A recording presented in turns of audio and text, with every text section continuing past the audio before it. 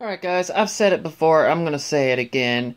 When you're going through and reorganizing your work area, it's always a good idea to make sure that you have everything that is lying around listed.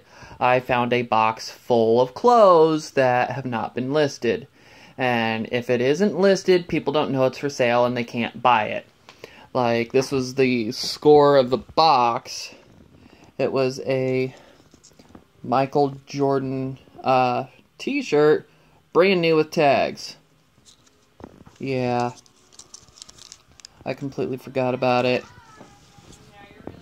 Clothes, clothes, nothing but clothes. Just, it's not listed, so people don't know that it's for sale. So you gotta go through and take the time and get them all listed. This was something of my son's that my wife gave me in the fall saying he outgrew it and so we needed to get it listed. Well, I never got it listed, so it wasn't available for anybody to buy.